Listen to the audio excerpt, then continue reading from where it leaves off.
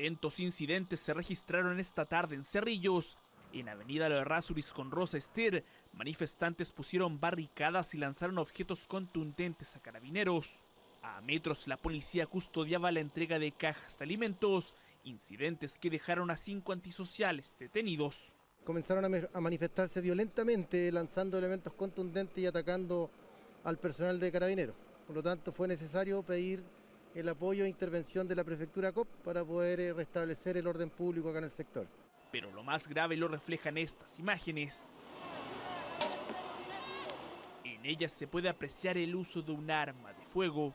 Uno de los protagonistas de esta secuencia dispara y una de esas balas impactó en el brazo izquierdo de un carabinero. El cabo Enzo Gallardo debió ser trasladado de urgencia y se encuentra estable en el hospital de la institución se encuentra bien dentro de la, de la gravedad, está siendo sometido a, exámenes, está con su, con su familia, con su esposa, eh, le hemos entregado todo, todo el apoyo, todo el respaldo de la, de la institución y también eh, muy afectado porque ciertamente esta, estas cosas uno no las espera. Al lugar también se dirigió el ministro del Interior, Gonzalo Blumel, quien rechazó el actuar de los serrillanos que atacaron a la policía local. Es un acto absolutamente repudiable y absolutamente cobarde el atacar a carabineros y especialmente con armas de fuego.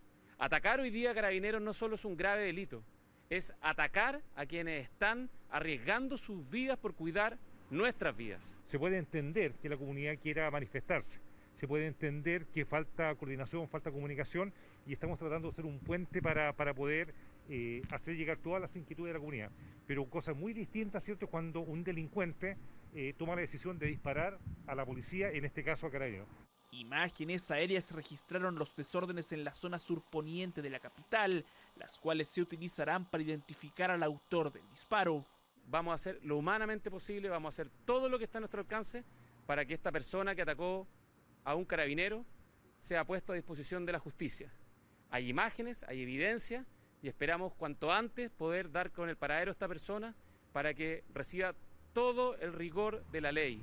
El origen de las manifestaciones responderían a la falta de alimentos e insumos en la comuna, la que han intentado solventar desde la municipalidad, incluso solicitando ayuda a empresas privadas. Yo entiendo el clamor ciudadano, sin embargo, por ningún motivo puedo aceptar, porque no está bien, no se hace que se dispare a las fuerzas policiales, que se use la violencia como se usó hoy día, eh, hiriendo a un funcionario eh, eh, policial.